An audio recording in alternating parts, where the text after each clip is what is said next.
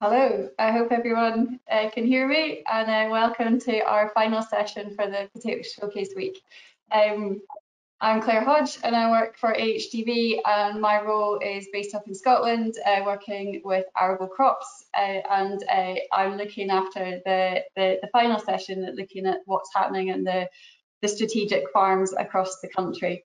Um, I always really enjoy this time of year and it's a time to get out to the field and look at what's happening, see what demonstrations we've got on and look at what conversations are important. Uh, unfortunately, we can't all be here in person, but um, we've got a brilliant session ahead of us to look at what's going on around the country and in the fields. So uh, I will start us with our uh, slides.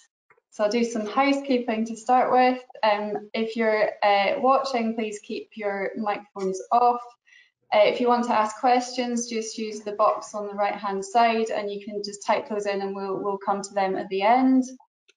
We plan to finish at five o'clock. Uh, there's basis and NRoSO points available, uh, one for each. Just put your put your details into the corner and we will make sure that's uh, counted and also the session is being recorded so you'll be able to follow this up later on uh, as you go through the week.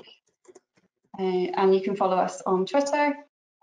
So the programme is uh, a just brief introduction from me because there's so much else to listen to and learn from. Uh, then we've got Mike Shapland from the East, Will Gagg from the north, uh, Jim Reid from Scotland, and then we're going to get a technical update from Eric Anderson from Scottish Agronomy.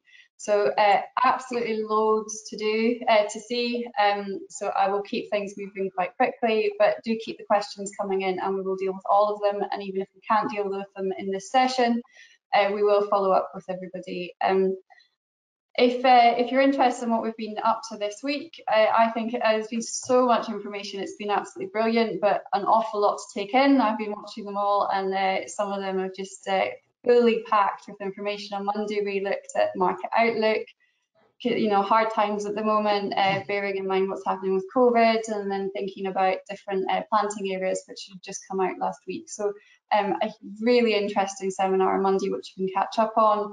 Tuesday, we looked at research, um, some fantastic research going on in blackleg, aphids and virus, um, brilliant catch up there. Uh, precision yesterday, we had a bit of a, a, a, a fight off with the different uh, companies to see which ones, who's delivering what, what's going on, how do farmers actually use this. I would recommend uh, catching up on that one uh, which uh, which matches your business best. And then today, as I say, we've got the the spot farm and my favourite part of the of what we do at HDB.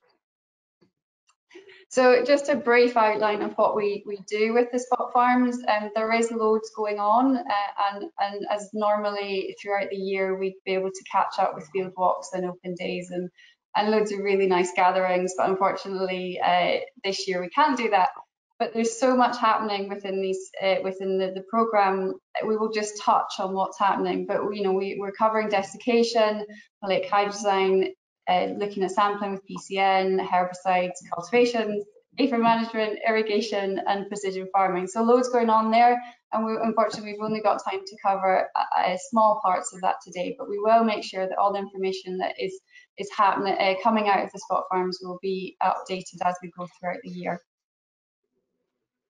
so I'm just going to start off just to check that we've actually got people here and listening to, to what we're doing. Uh, we've got our first question uh, to ask everybody, what demonstrations are people most interested in, in their for their own businesses?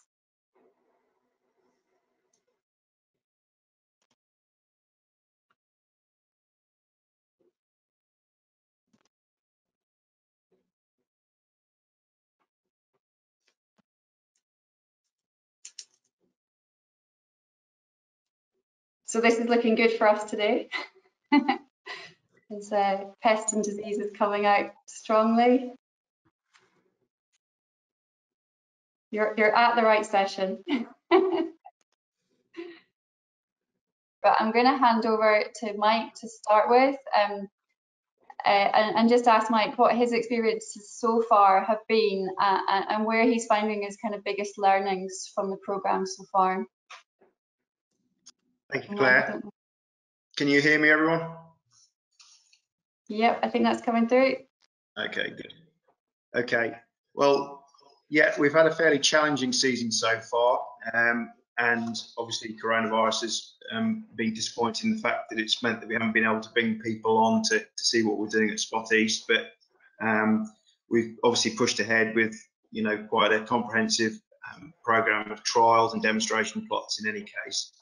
Um, from my point of view, obviously um, the water situation and the dryness and the heat of the season has probably been our biggest challenge to date, to be honest. Um, we've had um, we, have had extremely dry conditions since um, shortly after planting, really, and we're now in a situation where we're actually running out of water on several of our farms, which is um, shades of 2018. Um, again, to be honest, so we're getting some rain at the moment, same as other parts of the country, but um, long term, that's probably been one of the biggest challenges for us. Um, specifically in terms of some of the areas that we're looking at, then um, the, the herbicide work has been quite interesting. Um, and I think like a lot of growers, we've had to adopt a two spray strategy um, in terms of trying to manage without diquat now as a total herbicide. Um, and I think the other bits of learning for us that have come out have been um, how to try and use the, the PPO inhibitors um, and try to minimize any knocks on, on crop development, really. Um, you know, if we're not careful and we're seeing where we're applying those PPO inhibitors a little bit too late, then potentially we're retarding crops two or three weeks, which is obviously giving us a knock-on effect. Um, in terms of um, other points, really, um, aphid numbers um, in traps have been extremely high, and we've had some very high indices um, coming back. So um, I think um, it's going to be an extremely challenging year from a virus point of view. Um, and yeah, we will we'll see how that progresses. And no doubt Eric will say quite a bit more on that subject as we go forward through the seminar.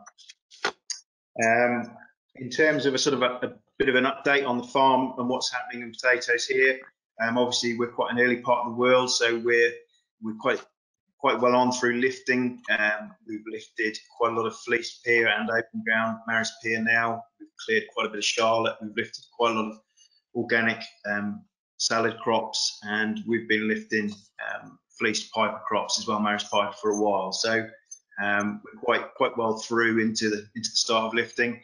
Tuber numbers on our early salad crops have been quite reasonable, to be honest. Um, some of the later ones mid-season, when perhaps temperatures are a bit higher, are a little bit more disappointing. Um, but quality on the early salads has been okay.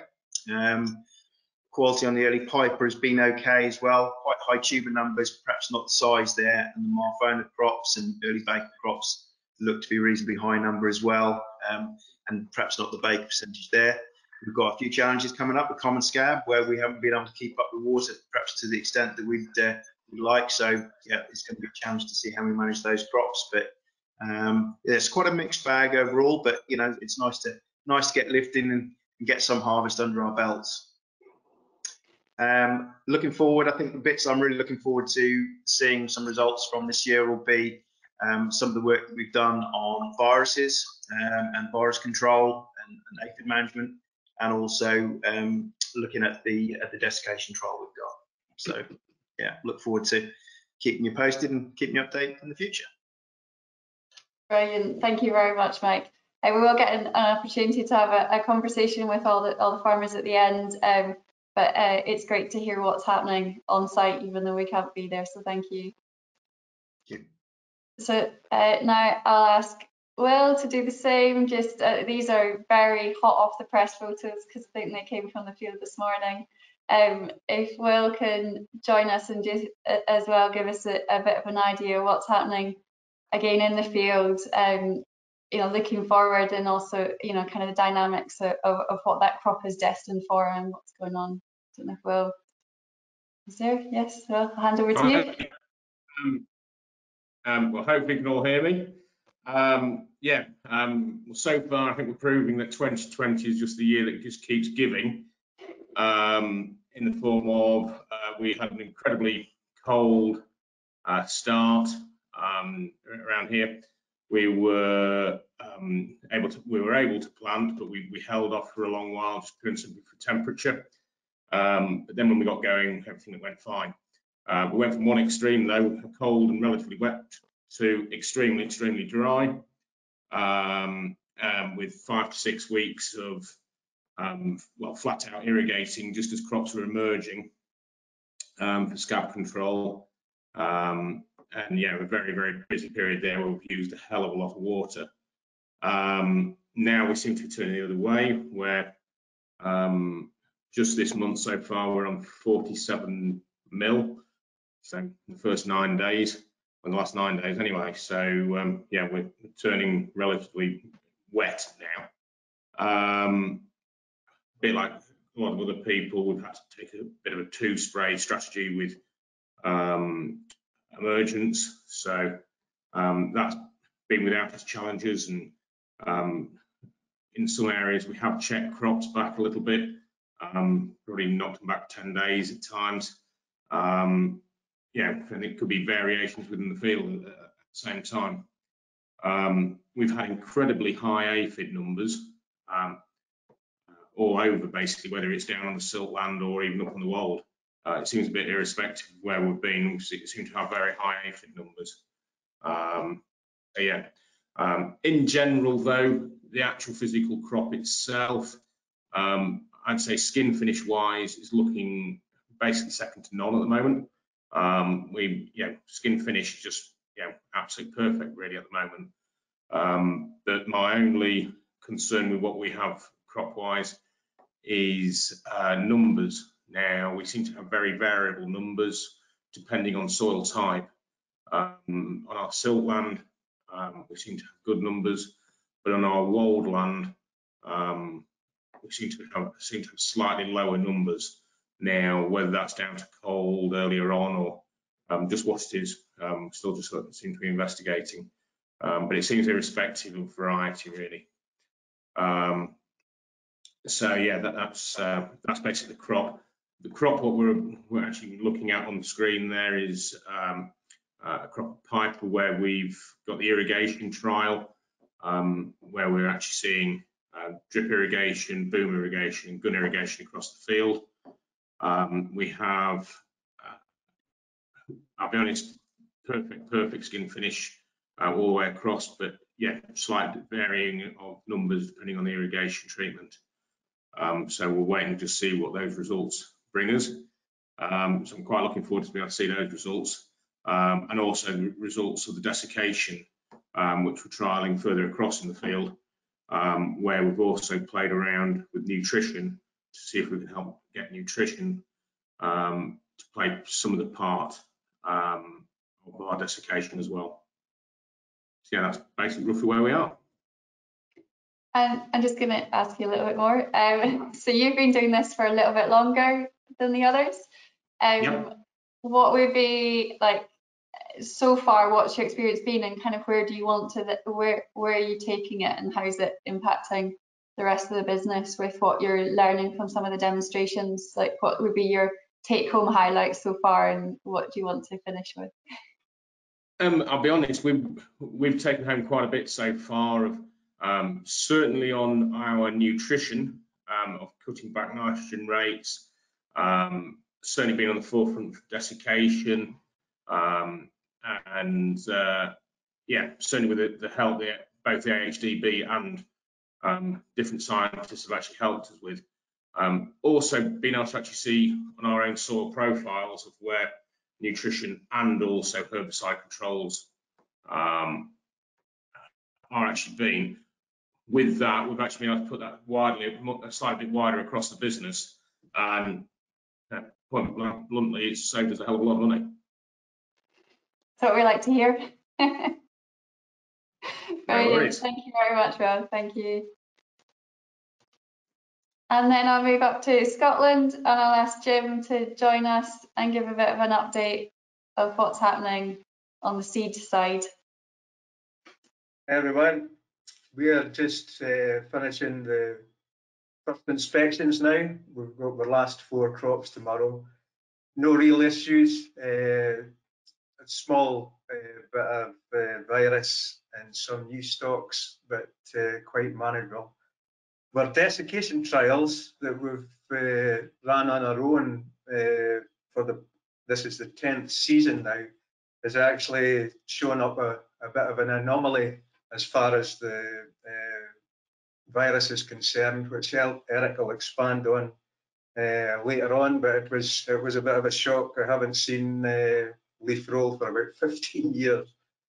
Uh, but obviously, we're everything that we do are McCain potatoes. Uh, their seed uh, depot is only six miles away from us. So we've been with McCain since 1986 uh, with Colin Heron and his team down there. Uh, the, this is the first year that we've actually trapped aphids. We've, I've been lazy and I've always relied on Rob's traps, which have been next door. Uh, and we've got three traps in uh, areas of uh, uh, crop, green crop that I'm amazed at the variation. There's only 100 meters between each trap, but it's quite clear that the trap that's on the prevailing wind for us this year has actually been north and northeast. And the trap C is the index is a, a fair bit higher. And such a small distance, it's quite uh, it's quite a, a, a difference. The, the trial number, the treatment five that we've had this uh, leaf roll in, uh, was one that had a reduced water volume. So you know, when it comes to desiccation or for any application, to be honest, uh, you know, a nozzle choice, water volume uh, is definitely important. I think that too many, too many uh, folk try and do it with 200 litres, and it's just not enough for uh, the size of crops that we're, we're handling. We've got a fertiliser trial where we're comparing uh, muriate of potash and uh, sulphate of potash that we can already see a difference in the in the colour of the trial, so that will be interesting to follow through. Uh, with cultivation methods, uh, methods this year were quite different. Uh, with a 30 acre field, we've had the driest spring on record, uh, and I was scared to death. it was too wet to plough in the winter time, and then it was too dry, so we actually min tilled it and went straight in with the bed tiller and then the destoners. So it looks a reasonable job. Hindsight's a great thing. I wish we'd spray the field first. There's one or two bits of meadow grass, but I'm fairly confident they're all uh, where the destoner put them. So I don't think it'll affect the crop at all. Uh, so just looking forward to the season. Uh, Jim, I suppose I've got a little bit of a question to ask there. Is that you've been doing these kind of demonstrations for a long time, um, but you have a real aptitude of kind of working out how to make it work on farm uh, and look for that technical information, but also find those practical solutions. So I don't know if you can maybe like summarize your drive yeah, to you know like what you're seeing on farm and, and, and with all the experience you've got how how how others can kind of learn from what you're doing and, and where you see the project going to. I think the main thing is we're doing it very much with farm machinery. So we're using one section of the sprayer boom uh, and treating, isolating three beds with each treatment and retaining a ton out of the middle of each treatment and replanting that the following year. This all started when we did the desiccation trials for Syngenta in 2011 and we planted the progeny seeds and the variation in blackleg levels the only thing that was different in the field was the desiccation methods and that's what started us down the road and Eric supported us uh, and Syngenta all the way through and the variation in blackleg levels of, you know, it's unbelievable, uh, the difference. The and we've showed up one or two other things as not only blackleg uh, differences. So it's really interesting. We often end up asking more questions than we get answers, but uh, this is the 10th season that we've done it. But obviously, with it losing diquat last year, we've looked at different things. Uh, and it's definitely going to be a challenge. There's no question about that. Yeah, well, I mean, we've got uh, so much going on in the field. It's really, it's really delightful to actually kind of try and tackle some of those challenges head on. So thank you very much for doing all the hard work. um. I, we will now move on to, uh, we're going to uh, move on, hand over to Eric Anderson from Scottish Agronomy. Uh, he's going to give us a, an overview of what's happening on the, the Scottish programme, uh, looking at um, sustainable PCN management, uh, alternative practices to pest management, and uh, to sustainably manage virus and a, a, a sneak preview of the desiccation and, and, unintended consequences. The, the picture there that you see uh, behind that is the, the Spot Scotland seed field. Um, so you can see, uh, well, Eric will talk about everything that's going on there, but uh, as I say, it's the, the best thing about this program is there's there's so much to go at. Uh, so there's there's loads going on in here. We've got uh, trap crops, wildflowers uh, down the middle, um, just so much and so exciting. So we'll make sure everybody is updated as we go. We'll have a live cam camera in there as well. So and we're flying weekly across so that there'll be loads of updates and loads of information for people to follow. And I hope you do uh, keep following us to see what's happening. But I'll hand over to Eric Anderson from Scottish Agronomy, who will talk us through the, the technical detail and, and uh, some of the the nice pieces of information that we're already getting out of this project. I'll hand over to you. Thanks, Eric. Okay, thank you, Claire. Um, good afternoon, everyone. I'm the senior agronomist for Scottish Agronomy and very proud to be part of HDB's Spot Farm programme with Jim Reid, McCain Potatoes, um, and the whole team, really, including Claire, over the next four years. My aim and objective really is to stimulate debate and, and, and discussion so that you as growers get something out of this and, and get some real practical messages. First slide, Claire. Okay, so we're going to lead off by having a discussion for the next 20 minutes or so on uh, PCN. I believe very strongly that we need joint ownership of the, the PCN problem, pro, problem. Um, and there is a need for both the wear, the, the processing and the seed sectors to have joint ownership of this. From a, a grower's perspective, any actions that are achieved need to be uh, practicable and we need to recognize that resistant varieties may well be 10 years away uh, before many uh, resistant varieties to Globodera pallida in particular are uh, widespread for the, the wear sector. They're pretty uh, commonplace in the processing sector just now, but not quite so common in the wear sector.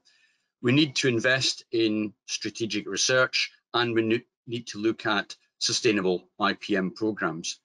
Just as a bit of a background, the dominant species has changed from Globodera rostochiensis to Globodera pallida, and pallida is far more challenging to, to manage.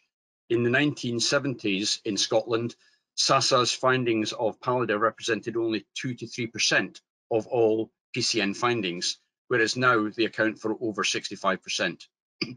now, some of you may be familiar with the fact that PCN has been regulated for over 50 years and it's not going away as a problem. It is a European plant protection organism. Uh, that's an EPPO uh, A2 pest and there is a requirement of the seed potato classification scheme that all crops entered for inspection must be grown on land which is a clearance certificate in force at the time of planting issued by SASA. Some people's interpretation of a clearance certificate is different to another. Basically, a clearance certificate is given if they don't find PCN in that test. It doesn't necessarily mean that there is no PCN present in the field. It's just below the detectable levels uh, for that particular test and the sample that's taken. And there is, I feel, a general lack of consequences for poor PCN management, particularly in relation to rented land. And indeed for seed, a lot of land is rented. And for many, biosecurity considerations are often a low priority. There's no compunction for ware growers to practice uh, rotations between potato crops. And this can be a particular problem in rented land where growers may not always be aware of what's going on within the previous rotation. Next slide, Claire. The industry continues to, to lose approved products, and this is becoming a, a strong challenge. Revocation dates we have at present in relation to nematicides are uh, Vidate for 31st of December 2020, Nemathorin 30th of April 2023, and Velum Prime 31st of July 2026. Now, these dates can change and, and probably will continue to change, but there's no guarantee that we will have nematicides for the for the future. So we must start looking at alternative strategies. Next slide, Claire. In my parlance, a PCN control strategy contains a number of different methods of control that can be taken together and that can have a positive effect at reducing the population of PCN in a particular field or land block. So if we look at uh, what we've got in front of us here, we've all got the aim of prevention. So we're looking at, in a very basic sense, controlling potato volunteers. We're talking about awareness and knowledge transfer, and we're looking at engaging with uh, land managers and, and landowners. We've got to have an inventory of what PCN is on the land and what species it is, and then we can look at solutions in terms of crop sequencing, uh, using uh, catch crops, nematicides, organic amendments, or indeed more basically as crop rotation. But there's lots of tools within the, the current toolbox. Next slide, please. The current situation in Scotland is that around 11,000 hectares are planted for the production of classified seed potatoes. Roughly 17,000 hectares are planted for ware production, and SASA currently tests 17,500 hectares per annum for, for PCN. Of that, about 5.3% or 800 hectares is recorded each year as infested. On a more limited survey of um, statutory testing ware land indicates that about 33% of this land is infested with PCN, 26 with Globodera pallida, and that compares with other uh, laboratories which are also testing uh, ware land in Scotland, such as SRUC, where the most recent figures suggest that over 75% uh, of the land is uh, infested with some degree of Globodera pallida. So there's a, a clear challenge building. And we estimate that in each year, more than 5,000 hectares of Scotland's 28,000 hectares, uh, that's 20% of commercial potato production, is planted on land which has detectable populations of PCN present. So there's no denying that there is a, a strong challenge. And at the moment, PCN in statutory testing is being found in, you know, you know, between 500 and 800 hectares per year. But this exponential growth means that by 2025, there could be 1,400 to 1,500 hectares per annum being uh, affected by PCN. And with six-year rotations within the seed sector, the management decisions that we're taking just now will only change things from 2026 onwards. So there is a strong legacy effect. Next slide, please, Claire.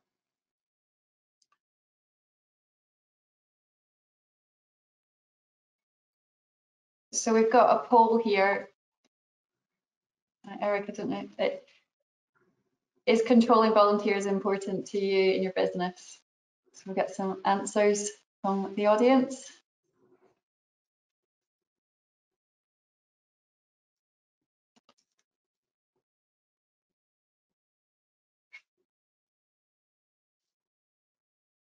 Still open, but we seem to be getting the right answer.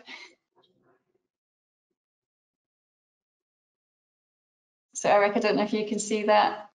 98%. 98% yes and 2% no. So Okay, so that that is is good that people believe that volunteers are important. But in previous work that uh, we conducted for uh, HDB, we did find there was a long legacy effect of volunteers in fields uh, and land blocks being used for seed, and that there was a uh, both a high virus content and there you know, clearly that's having an effect on on PCN as well. This next slide, Claire.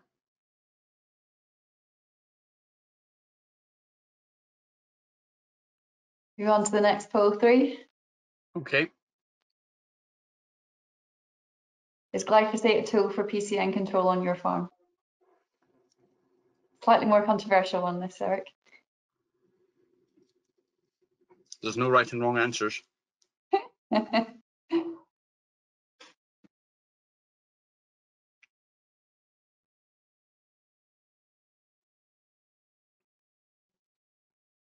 There we go, closed.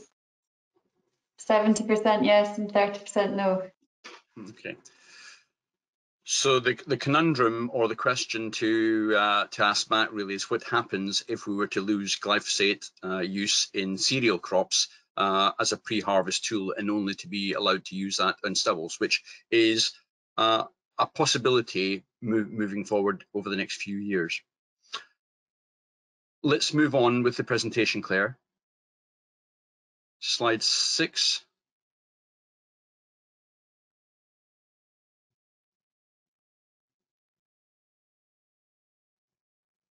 You got that?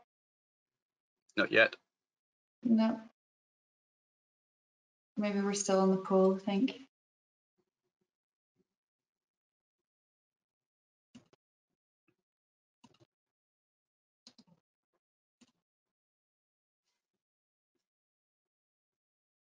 Paul's no longer on. What, what's the title of the slide, please, Eric? Uh, slide six, economic cost for Pallida. I can see that on mine. Can you see it on the screen? It's on mine, 19, oh. slide 19 start running it through mine.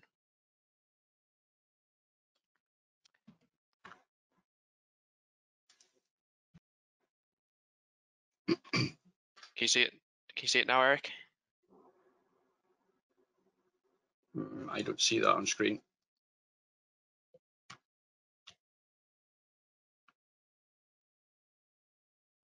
I can try pass you the controls, Eric. See if we can run it through yours if you want to give that a go. Okay, I can see it now. Okay, perfect. We'll carry on then. Okay. So um, in today's parlance, what we need to uh, consider is how we should flatten the, the curve. What we have here is data from uh, the Plant Health Scotland recently commissioned a piece of work from Adam Kleczkowski from Strathclyde University that uh, indicates that the cost of the industry is over two and a half million pounds per uh, per annum. And if the industry continues to take no concerted action against PCN, the whereby the status quo is maintained, estimates are that the uh, the loss uh, of two to three million pounds per year in seed potatoes will build to five or six million pound loss by 2025. So we need to understand that the, we're on a, a track, we're on a route. There's probably nothing we can do over the next six years, but thereafter we should be aiming to to flatten flatten the curve. Next slide.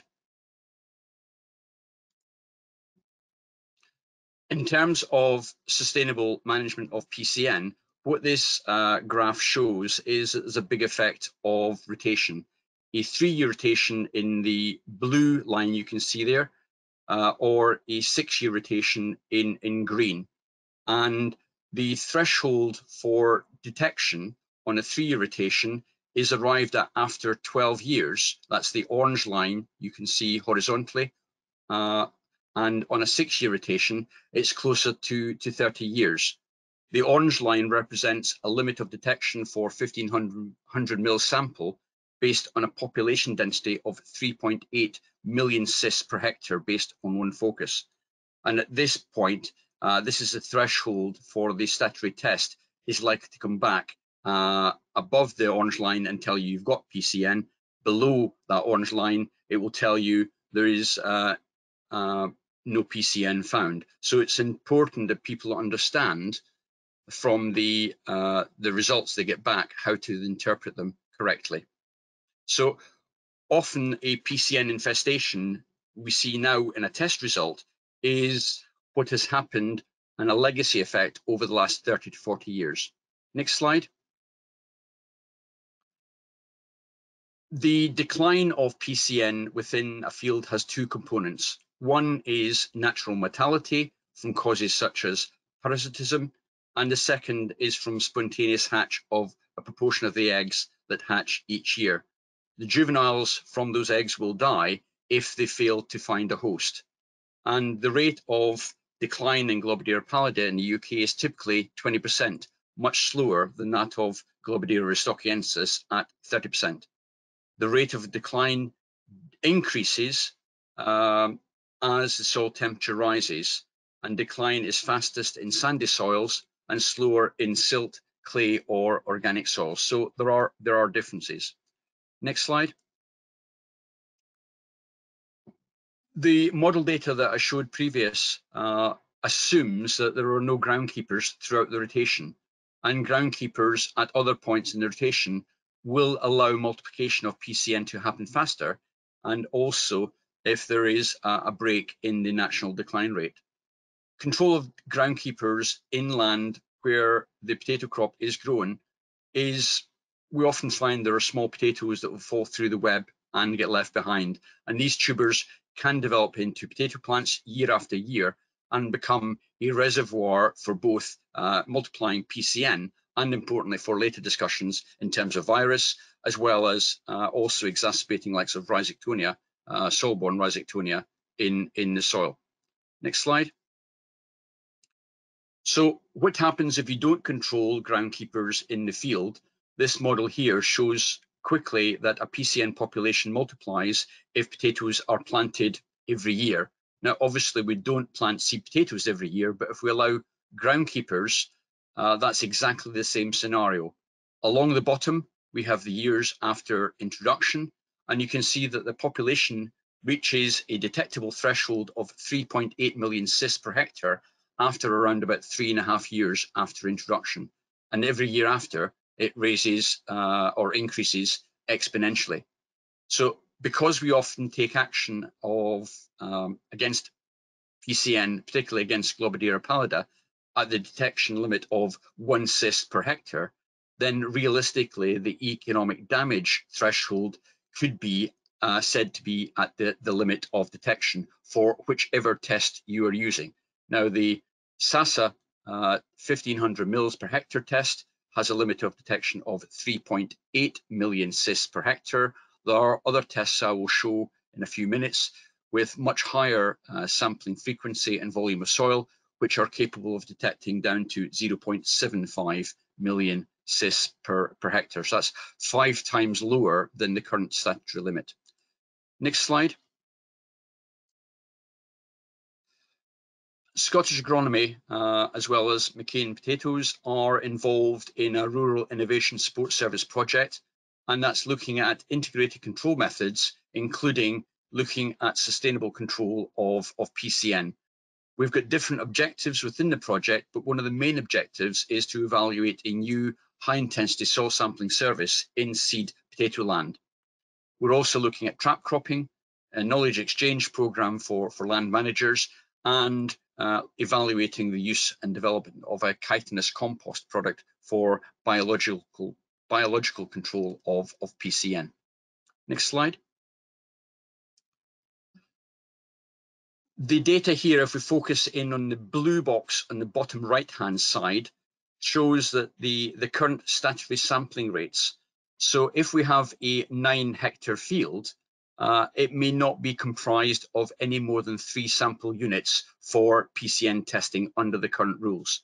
So for example, a nine hectare, could have a, a four plus a three plus a two, or a three plus a three plus a three, but in principle, the restrictions that are placed by SASA at present mean that you cannot have a sampling unit smaller than a minimum of, of two hectares.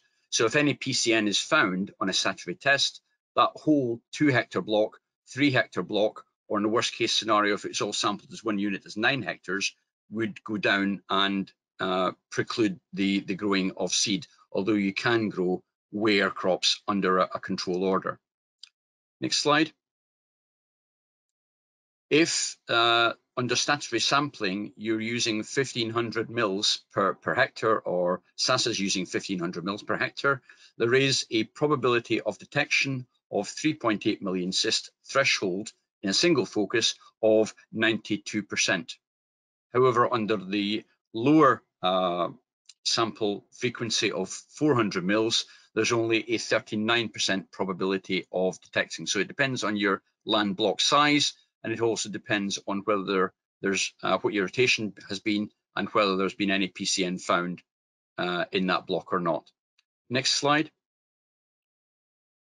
The recommendation put out by HDB just over a year ago in a very useful guide uh, in terms of PCN sampling recommended that for seed growers, if you were undertaking a non-statutory test, you should be looking to evaluate the soil on a minimum of 1500 mils per hectare.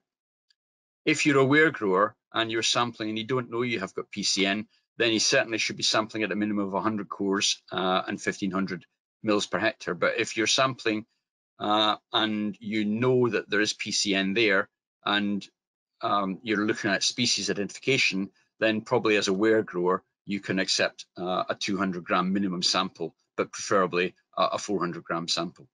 Next slide.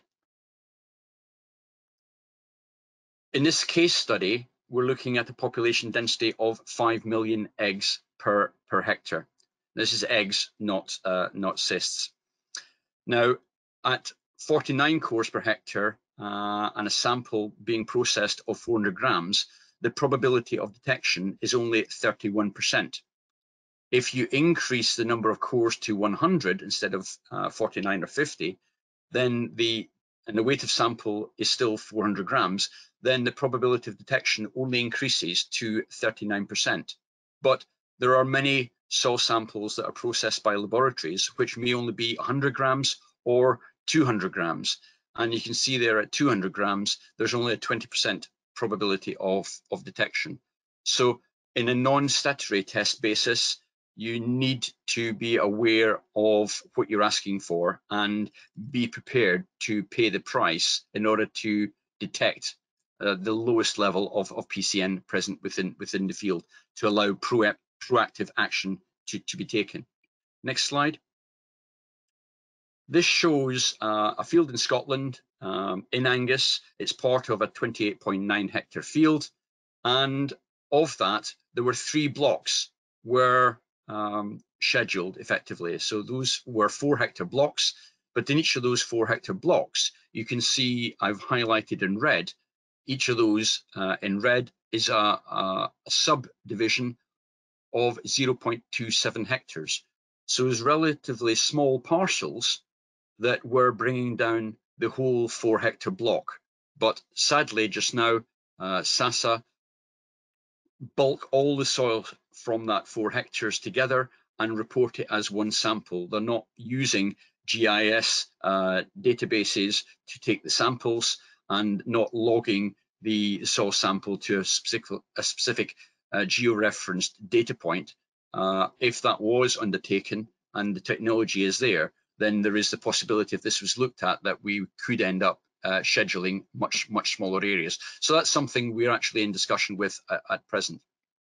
Next slide, please. Myself and several others from HDB, including farmers, uh, undertook a study tour to Holland last year.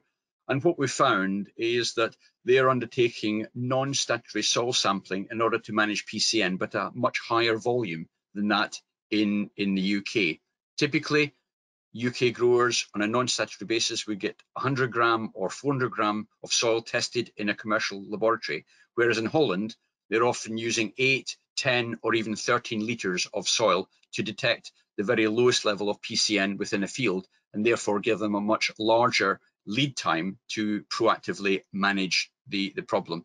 So detecting PCN before a statutory test does means that the growers have options available to them. And importantly, the Dutch take these soil samples, large soil samples, immediately post growing the previous potato crop to give the highest probability of detecting uh, low levels of PCN. Next slide. This show this table here shows the probability of finding PCN in a sample. So on the right hand column, you can see for a population that has got uh, 3.8 million, which is comprised of a single peak of uh, 100 and three subsidiary peaks of, of, of, of 50 uh, cysts per, per hectare. So you can see there that the probability of detecting on 1500 mils is 92%. However, if we look on the left-hand side, the second column, then at one single peak of 50, which is equivalent of 0.75 cysts per hectare, we would need to take 10 litres of soil or 10,000 uh, millilitres, 10 litres of soil to give a greater than 90% probability of detecting that low level of PCN. And that's what we've embarked upon uh, within the, this study. The probability of finding PCN in a sample varies greatly depending on many factors, but assuming that central focus has a population density of 100 cysts per kilogram um, and therefore contains the the one you know you know the the 1.5 million cysts. Typically that will give rise to uh, 3.8 million cysts per per per hectare.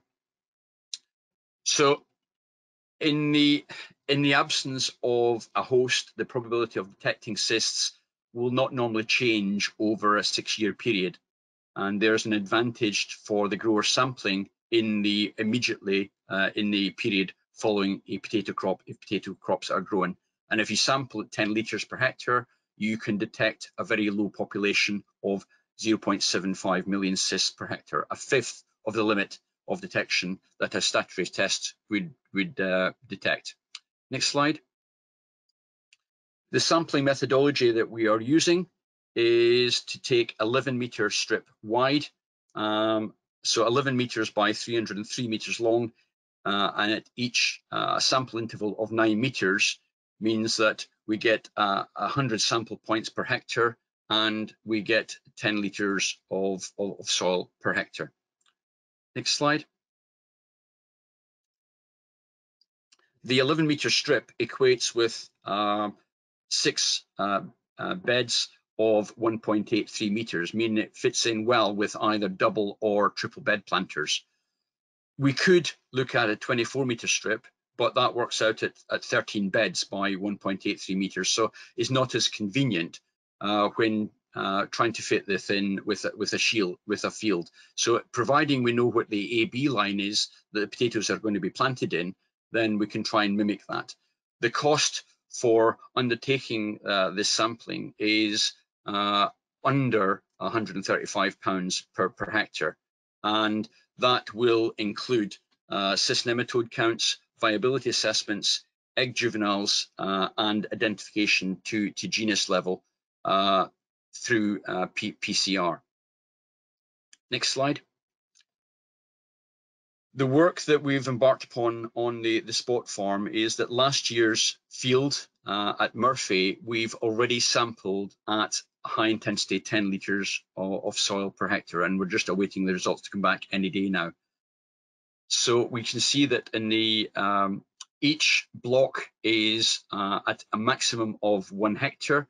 If the 11 metre strip was to uh, be, after if we're going to have any more than uh, 11 metre strips and it was to push it over uh, one one hectare, then we curtail the block uh, as it is. So that's where you can see there, I don't know if you can read it, but 0.88, 0.7, uh, uh, 0.84 hectares.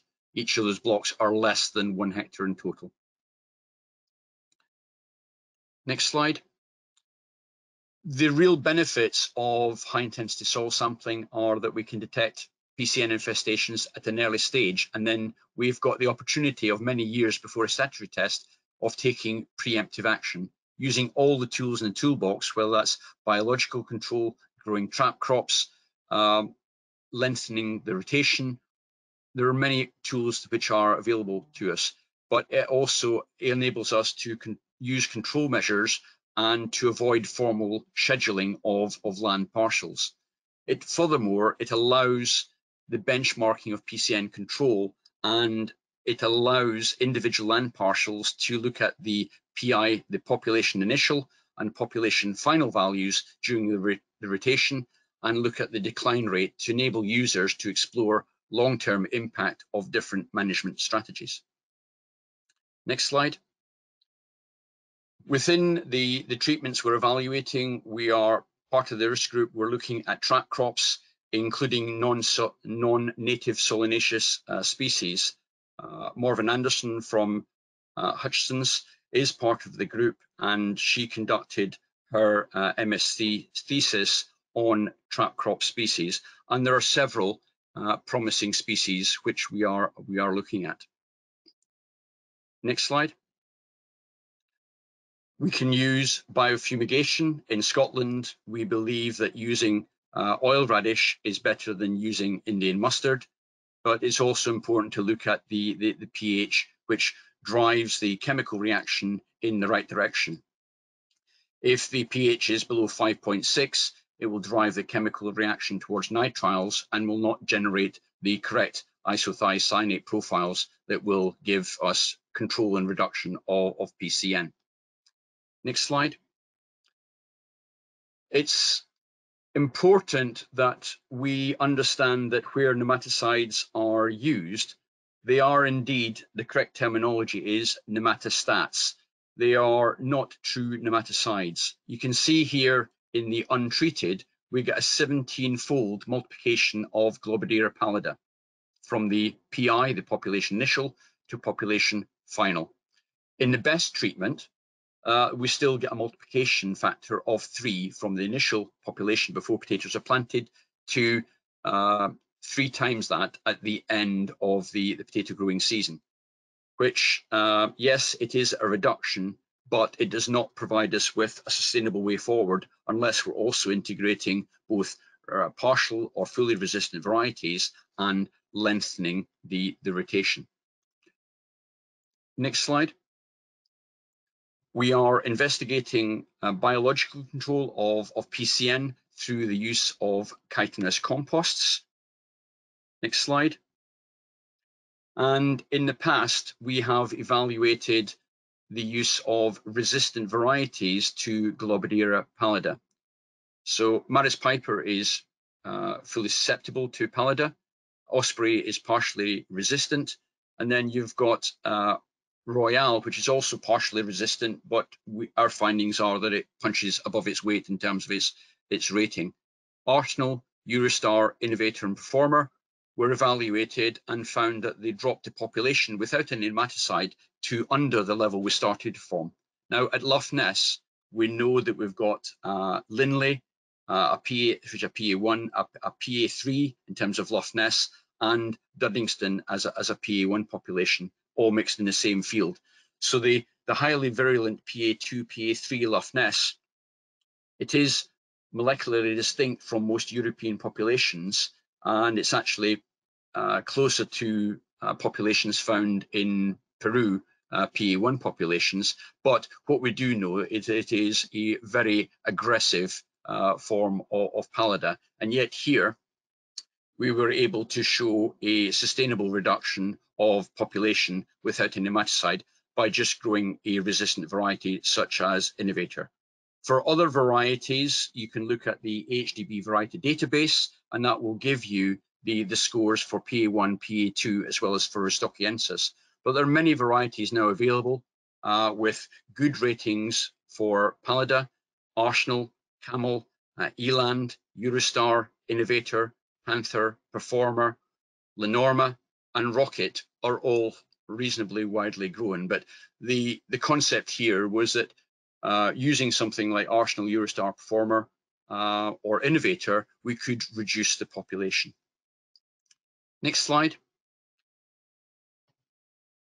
Okay, so that's uh, a very rapid canter through some information on PCN and hopefully that will open up the debate at least on PCN management and how we can look at undertaking that sustainably. Claire? Sorry, I got lost in the system. um, are you wanting to do the poll now? Yes. Yeah, so are you using IPM approaches in your management system or your approach to management? So we get votes. We are running tight on time um, and there's lots of really good questions coming in. So um, just for the interest of time, we, we, will keep things moving. We might skip the next poll. Brilliant, 70% there. So, um, but Eric, we'll just, uh, I know there's so much information, it's brilliant. And, and we should have had a whole session on PCN, you always could, couldn't you? But um, we'll, we'll keep pushing on and we'll get to the questions because there's lots coming in, which is brilliant. I'll let you keep going. Okay. So Next, next slide.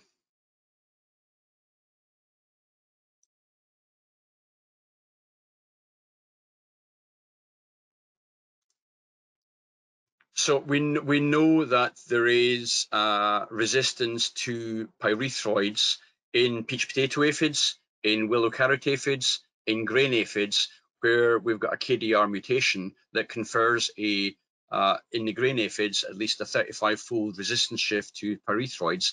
And there is most recently evidence of pyrethroid resistance in bird cherry oat aphids in Ireland, which we strongly suspect is also present in the UK. So increasingly, we believe that spraying pyrethroids will have a negative effect on beneficials and it may not be doing what you've previously assumed it was doing in controlling your, your aphid species which are in the field. So we're really interested in looking at biological control using natural enemies of aphids for uh, predation, for parasit parasitism, and also using pathogens as alternatives.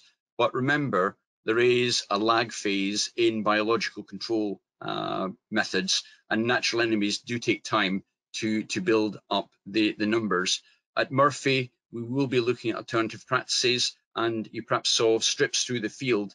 Uh, Jim has established uh, three meter wide strips in between the tram lines and we're looking here at uh, a combination of methods uh, uh, such as habitat manipulation and modification of cultural practices as well as target chemistry and hopefully over the next four years it will encourage confidence for growers to adopt an integrated pest management uh, approach more widely and to improve potyvirus control whilst reducing insecticide use within an arable crop, crop system.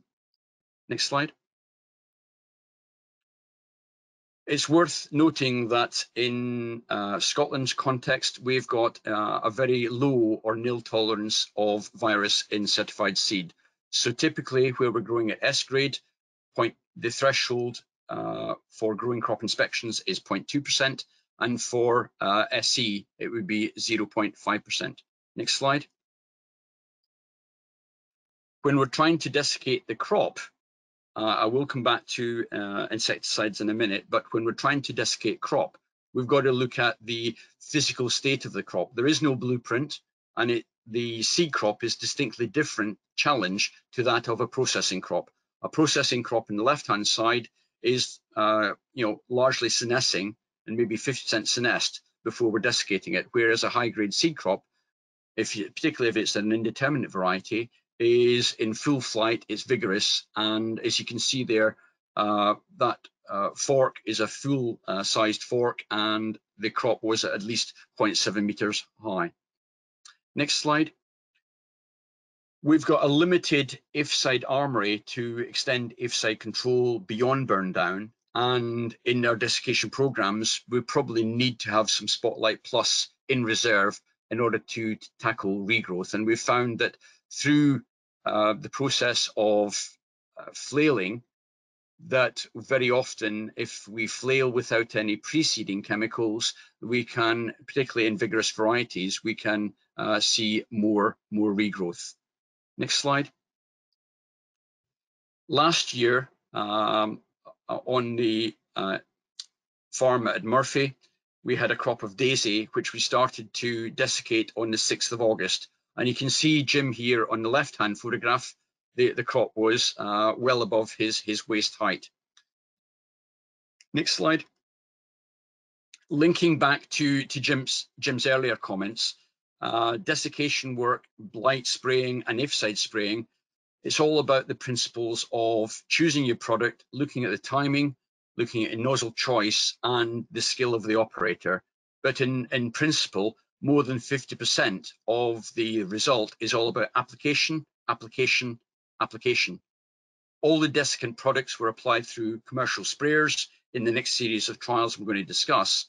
The first application was made using a Guardian twin air nozzles at 4 bar, 400 litres of water and 5.4 kilometres per hour, with the second and third applications using Defy 3D angle nozzles at 3 bar, 300 litres and travelling at 6.4 kilometres per hour. So in desiccation, it's really important in these vigorous crops that we take the time to apply the water and we slow down to apply them properly. Next slide. All desiccation products um, that we're applying these strip treatments are applied through a commercial sprayer. Therefore, they're mimicking what's happening in reality, and we get the, the true physics of um, sprays working effectively and we can evaluate that because if we apply in a fully replicated small plot, we don't see the spray acting in the same way as it's applied through a commercial sprayer. But there on the left-hand side, you see uh, date after application, uh, 21 days, and you've got Reglone, Reglone followed by Spotlight Plus. Um, and that has done a good job, but we've no longer got uh, in our armory because it's been revoked. On the right-hand side, you can see pelargonic acid at 17% applied in 200 litres of water, followed by Spotlight uh, Gozai, followed by Spotlight Plus, and it's a much slower uh, burn down of the haulm.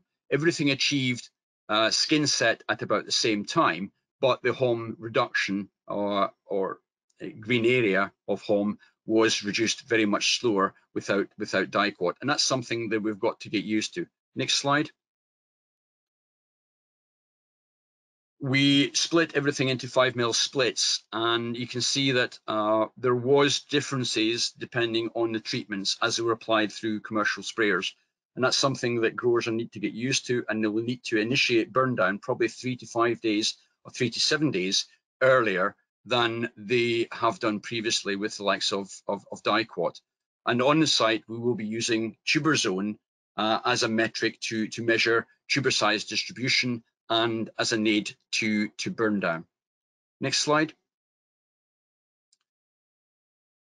I, have used the, the metaphor here uh, of a green telephone uh, really to indicate the hormonal cascade events that occur through a, a plant that is initiated via desiccants. The phytohormones control growth and senescence within all plants, and ethylene is regarded as a multifunctional phytohormone that regulates both growth and senescence, and it promotes uh, or inhibits growth and senescence processes depending on the concentration uh, and within within the leaf. But there's also linkages through to abscisic acid, uh, and also you know there is lots of other um, hormonal triggers that occurs within the plants that we're only starting to understand at, at present. It's too simple to think about the damage you're doing to the leaf and how rapidly haulm uh, senescence occurs relates to skin set. That is not the case. So we need to perhaps re recalibrate. Next slide. We've got to get uh, used to, to using a flail perhaps on some farms and our ambition on the spot farm is to be filming and getting information out to levy payers within the next two to three weeks. But clearly, uh, laid haulm in some crops is, is going to be a challenge, and we need to be looking at um, managing that situation as, as best as we can from the operator's perspective. Next slide. The flow diagram here is looking at what I regard as being best practice as an aid memoir or a management guide to desiccation and to use all the tools in the toolbox depending on whether you've got a vigorous uh, canopy or you've got a senescing canopy, whether you're going for chemical only or whether you're going for a flail plus chemical approach. Now, where you've got a slow burn down, it's important from a seed perspective that in England, depending on um, your, your crop, if it's not burned down within uh, 14 days of your second inspection, then they will be looking to take tuber samples and your certification will be based on the results of those tuber samples. In Scotland, uh, third inspections will only be carried out by SASA at their discretion uh, or if there is more than 25% of the tolerance for black red, black leg uh, within that grade. Uh, but otherwise, there is after second inspection, there's no follow up. So the situation is distinctly different in Scotland as it is in England. But um, where you have got a third inspection taking place, or you've got um, a lot of uh, aphid activity and potential ingress of virus, it is important to consider the consequences of how rapidly your crop is being burnt down. Next slide. This is uh, data hot off the press from Jim earlier this week. In roguing, the 10 different treatments we assessed last year, the amount of leaf roll and mosaic we found within the areas that were planted back, we planted back 0.17 hectares, ranged from 0.04% up to 1.15%. That's a huge difference. And in those uh, plot areas, it ranged from roguing out four plants to 122 plants. Uh, that's a massive difference in, in workload and also a massive difference in the uh, the quality of the seed that will be generated. So the speed of burn down can have a huge effect on the ingress of, of, of virus. And you know, Trevor Woodford back in 94 indicated that virus transmission of um, virus by insects is a highly variable process because it involves interaction between virus, vector, and, and the plant. But what we're seeing here is that we can get late ingress of virus if you don't have a, a good uh, desiccation process and, and program going on. And my last slide, Claire, is trying to wrap up all of that together um, into some key recommendations. Going forward, there is no blueprint. Each crop, each field situation needs to be assessed differently and use the most appropriate treatment for that field, for that variety, for that soil type. Passive bulking will require T1 treatments to be applied three to seven days earlier than you have done previously with, with, with Reglone or with to maintain the target yield in the saleable size fraction. It is essential that we conduct both late blight and virus protection until we get complete cessation of all green material. And we've got to continue to develop non-mechanical desiccation methods to facilitate haulm destruction where soils are wet at the point of desiccation because it's not always possible to go through with a flail.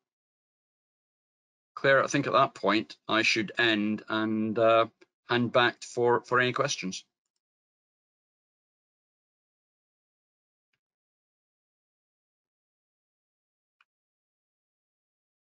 Sorry, I'm still on mute. Uh, thank you very much for that, Eric. Um, there's always so much information to go through, isn't there? And there's so much going on within our strategic farms. I think I'm going to um, move things around a little bit because uh, we've got Nicholas Saphir, the chair of AHDB, uh, to kind of conclude the potato showcase week um, to kind of summarise what we've been doing and what's going on at AHDB. But there's loads of questions coming in, like I, I, said a few moments ago. So we will go back to the questions and we'll make sure that they're all answered. So if people hold on, um, we will get back to those and we will keep discussing. Uh,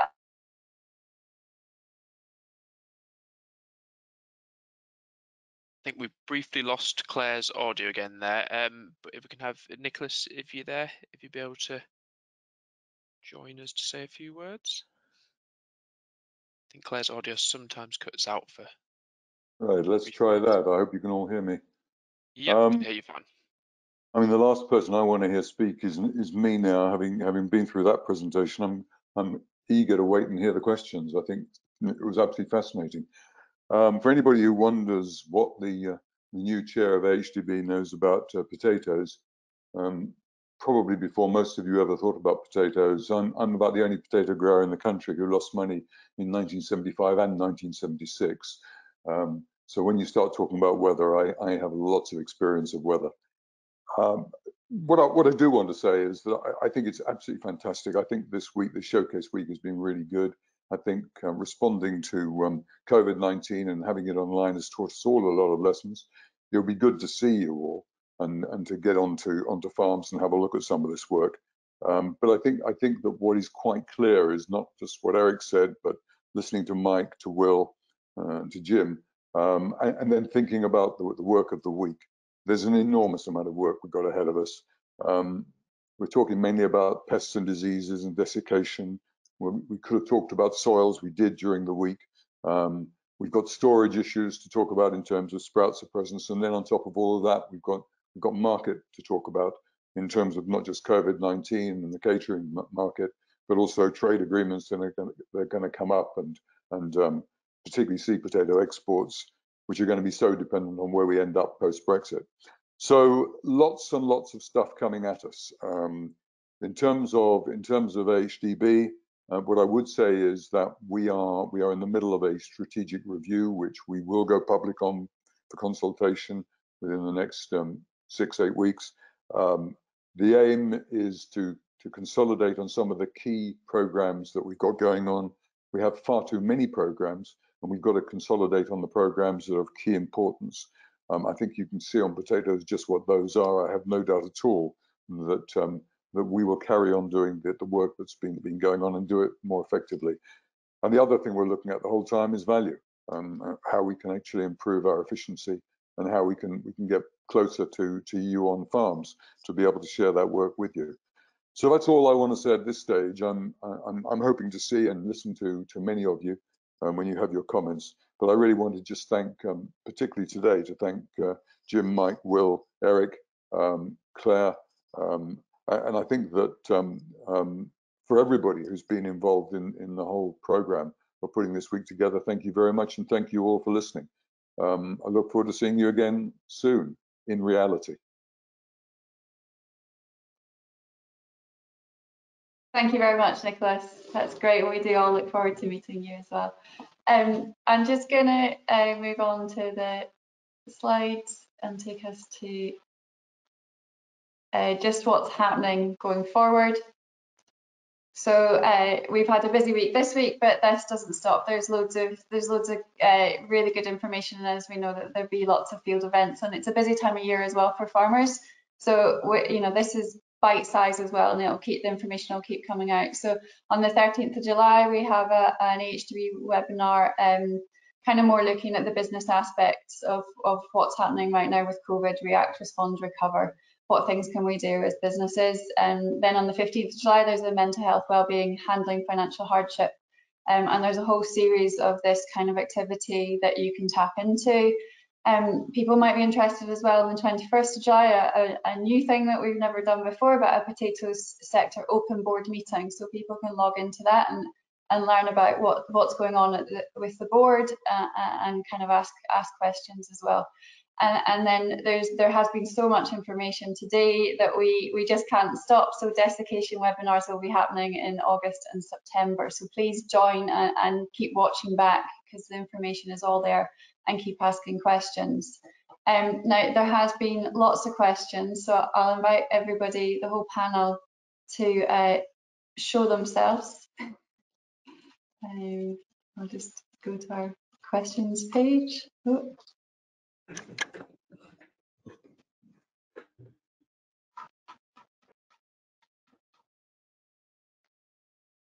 Oh, I'll leave this on there. Hey, everyone's back. So I've got lots of questions for everybody. And I don't know where I'll start. Where I'll start? Um, oh, so there was, I'll probably have to answer this first question. It's probably for me, but uh, could there be an opportunity to meet on the farm in small groups later in the season?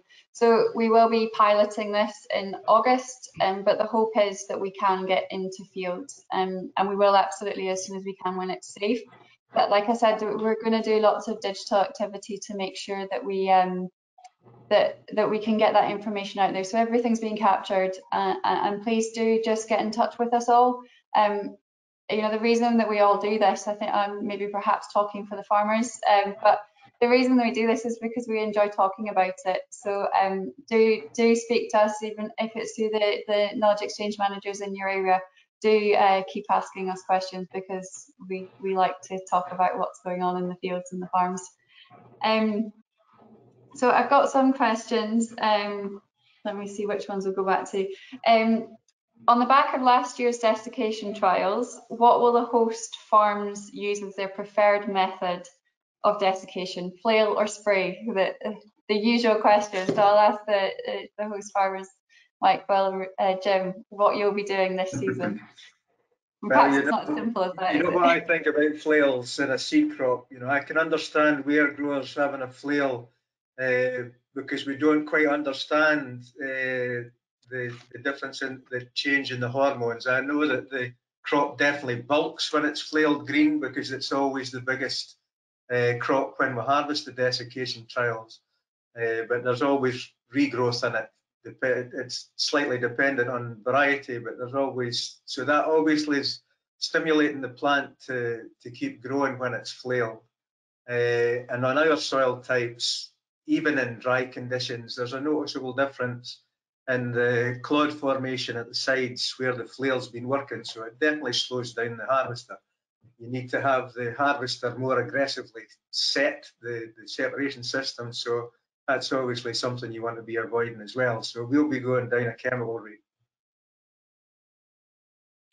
Well, we're personally going down a, a flail route at the moment through gritted teeth, quite frankly. We'd much rather go through um, chemical route if we can, but at the moment, certainly for um, more vigorous and healthy crops, yeah, we can't see something what's actually going to kill um, Tates properly um, on our soil types, unfortunately. So we are going down that flail route. But, know, um, like Jim was just saying, we're sort of envisaging more damage with sort of uh, um, compaction on the edge of the rows, cracking in the rows potentially, um, and yeah, more issues along those lines. Um, so the sooner we can go away from that, we will be doing.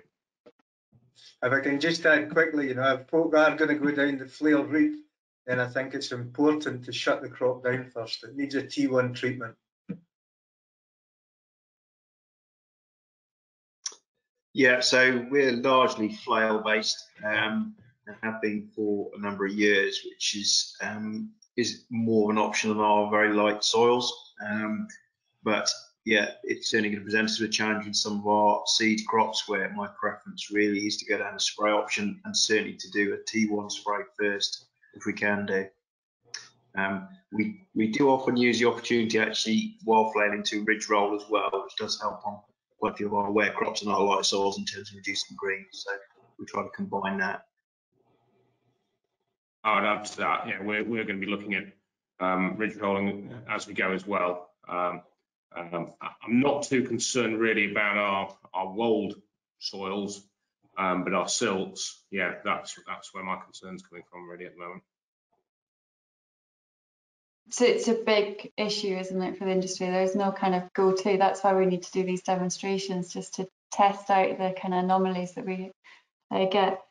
Thank you for that. Um, another question I've got here is, uh, so I'll ask the strategic farmers first, and then I'll ask Eric kind of his views on this as well. Um, how do you test for virus, or do you, or how do you uh, test for virus in tubers? And what's your approach? Well, we uh, in our seed stocks, we send all of our stocks off for a full grown on test. Um, we have done for a number of years.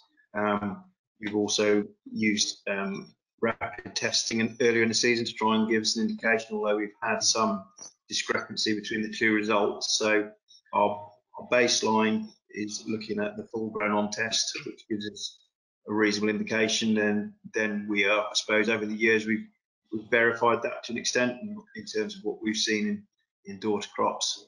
Um, and we're also obviously um, we're trapping aphids during the growing season as well to to give us information during the season.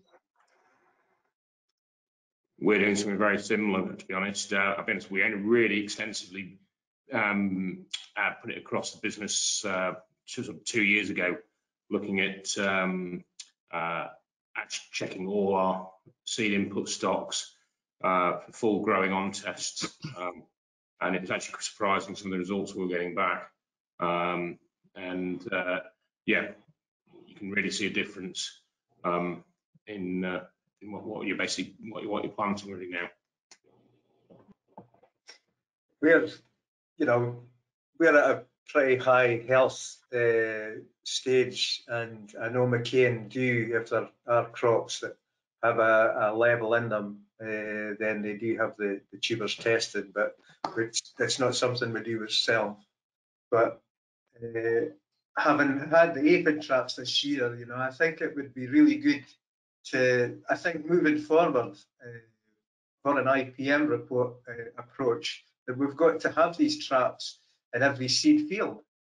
You know, just to find out where the concentrations are. We have a very low index of aphids, but there's still a variation of over five between the three traps, and there's only 100 meters between them. Uh, so, you know, it's uh, it's you could actually base how healthy the crop is by what you've trapped. We've never had it. We heard about a trap that had 10,000 10, peach potato aphids in it, and that scares me to death. You've got six. Yeah. Eric, do you have anything to add to that? Yeah, there, in terms of tuber virus testing, um, in my opinion, it should be taken after complete haulm death uh, and before harvest. There are different approaches to virus assessments. Samples of tubers can be tested directly using a, a molecular test uh, using PCR. The direct test uh, normally uh, can be done within two or three days.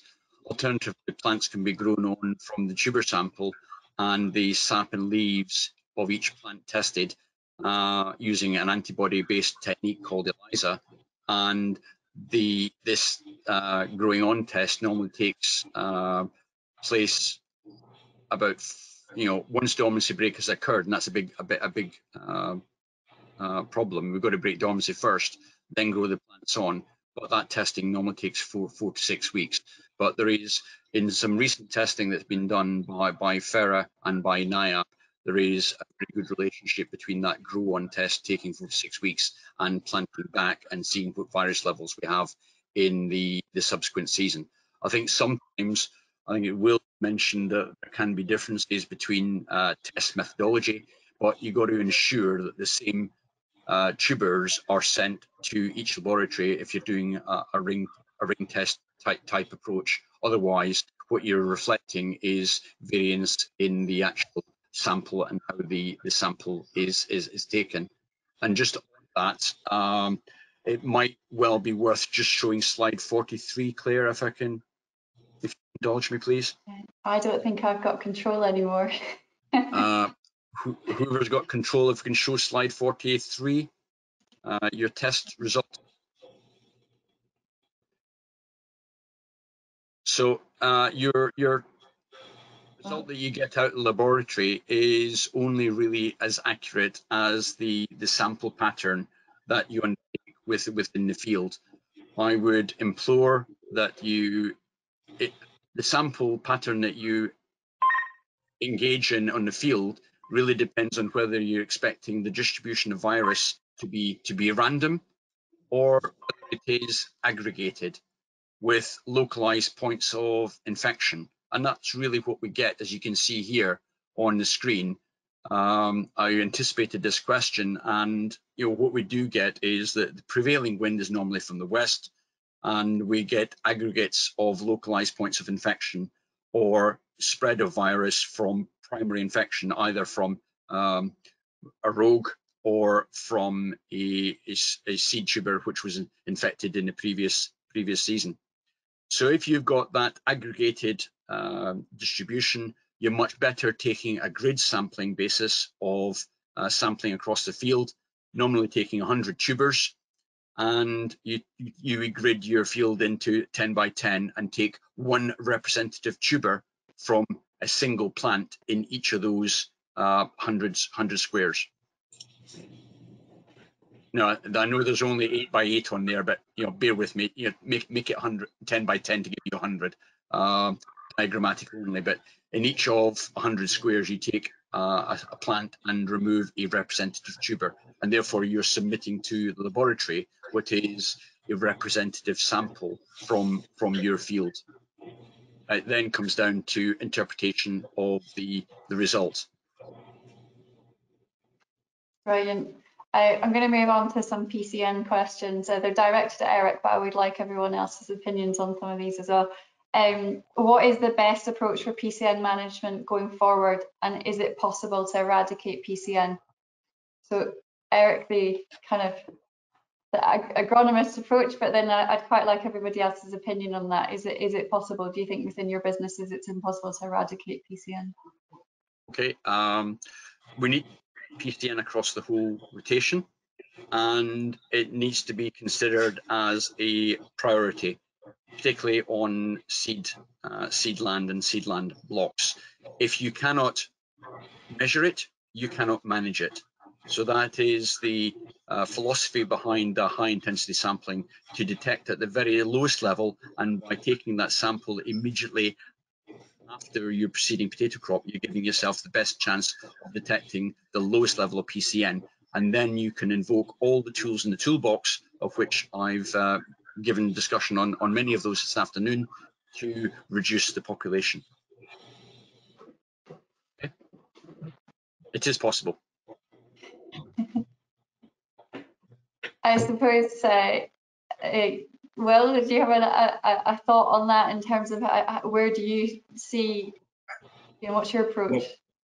Well, basically, um, we took a strategic approach uh, five years ago as a business, and um, when I took over the potatoes across the um, uh, all Godfrey's Northern Farms, and um, basically we could see ourselves coming into a, a, uh, a bit of a problem if we didn't really approach it uh, aggressively straight away. Um, traditionally, we were growing potatoes in a one in six to maximum one in seven, um, and PCN levels were just constantly, slowly but surely rising, and you could see through the samples. So we've taken it from that to now growing a sort of one in ten as a as a um, you know, a maximum, ideally a one in 15 we're going for now. And we've actually been able to take a lot more land elsewhere um, by renting inland and um, cutting, you know, uh, basically bringing in virgin land. We've been very fortunate being able to find that. And um, uh, so that's basically the approach we've taken. Um, also, one farm which had very high PCN levels basically said we're not going to grow on there for 20 years. Um, now we're in a very fortunate position to be able to do that by you know, by finding this um, other areas and pockets of land. So I know not everyone can't do that. So that's been basically our approach. Mike, do you have a, a strategy? Have you got? Um, we do have a strategy. We're we recently been faced with taking on a block of land where we have got some pretty high PCN levels. Um, I think Eric's absolutely right. It's a, a multi-pronged approach is, is what's required. Um, and yeah, I think varieties have certainly um, come on significantly in the last few years and, and, offer a, a real ray of hope in terms of managing PCN. To be honest, I think they'll form the cornerstone of our strategies really. Um, one of the problems I think for a lot of potato growing businesses is perhaps control of land um, outside of the potato growing operation and having control of land around the whole rotation.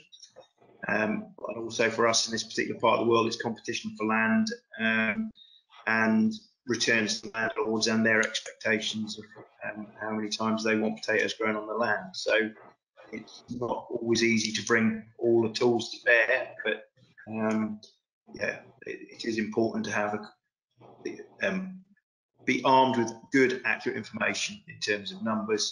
Um, good, accurate, well carried out sampling is absolutely key, and good knowledge on speciation, and then you can form a strategy on the back of that. Um, but it, yeah, it's absolutely possible to, to eradicate it, no question about it. It's just a balance against the economic pressures yeah. to do that, really. Jim, do you have anything to add with what you're doing? We, you know, we are quite lucky in this corner of the country, but we have had a couple of issues uh, last year and this year, which one's involved in the in the, the spot farm, uh, to identify where where the PCN is actually located in the field, so that we can do something about it. I suspect that the farm exports straw and imports cattle muck, so I imagine that's where because there's no history, there was never any history of PCN there. Uh, one thing that we do uh, is we, we always supply the any rented land we have, we always give fluroxypyr to the uh, farmer to put on in the with the spring herbicide, and uh, if there's any uh, groundkeepers there, then I normally go in myself and spray them around them. Because, you know, potatoes and any other crop are a weed. We need to, we need to control them. So I'm going to go for a couple more questions uh, and then we'll, we will wrap things up. Um, going forward to help the control, to control the spread of PCN, shouldn't we be educating all agriculture around hygiene to avoid spread in the rotation? So how important are the hygiene messages and what do you all think we can do as playing our part in making sure that that is, is dealt with or, or as best as possible? And I hope you don't just all look back at me. Personally, I think it's very important that, um, you know, so we, we're obviously renting in a lot of land, but our, our landlords, I'll be honest, we have tried to educate them ourselves by making sure that groundkeepers aren't aren't there. I mean, we've even offered to go and make sure they were sprayed off in the following um, season after the following wheat crop and things. So, um, yeah, we're, we're trying to do our part as long as, as, long as they're doing theirs. Um, and I'll be honest, I, I feel it's a very much an integrated approach, um, both grower ourselves, landlord. Um, but uh, yeah, I, I, feel yeah, as a grower, we, we're the ones who actually have to um, so-called educate our, our landlords and making sure we actually have a, a joined up approach. Yeah, very much the same really, and it's important as well. I think it's um, it's staff training, staff, um, you know, pre pre planting meetings, pre harvesting meetings to make sure that everyone in our business is well aware of their the importance of hygiene and what's expected of them. Yeah, long term relationships with landlords is a big part of it as well. And as Will says, um, you know, where we can educate or help or be involved in volunteer control in the rest of their rotation, that's great. And potentially that helps us as well, where we're growing other crops and potatoes causes significant issues in volunteers. Um, so yeah, it's a it's a rounded approach, but it needs everybody engaged in it to uh, to make it work. Mm -hmm. And we, We need. I'll maybe I'll maybe keep going on with the questions because there's a couple really good ones that are good. Okay. Is that's okay? Um, there's one specifically for Eric. Do you think that compost for uh, compost for control of PCN, so I think that's the chitin that we're talking about, um, Mhm. may also have an effect on powdery scab? Um, it has shown in some work to have a slight reduction on, on powdery scab, uh, but that would not be the main justification for, for uh, using it in the context of the, the, the spot farm. We will be looking at it once we get the data back from that field from last year.